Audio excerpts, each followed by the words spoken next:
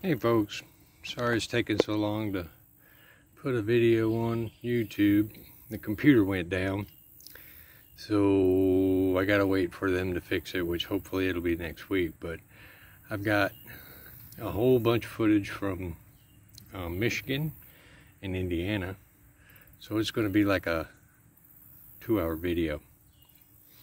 But it'll be, it's probably one of the best ones I've made so far. It's got a lot of neat stuff in it.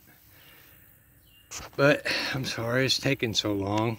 I'm hoping that uh, everything goes well with the computer so that I can start posting videos again. I'm having to do this on my phone and I just don't have all the um, the neat editing stuff that I have on the computer. But right now,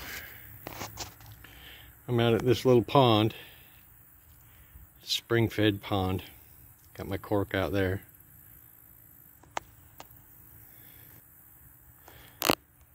I'm out at the pond in Esto, Florida.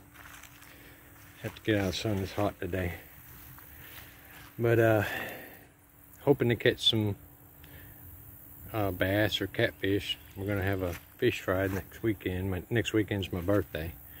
We're going to invite everybody at the park come on over and eat some fried fish with us.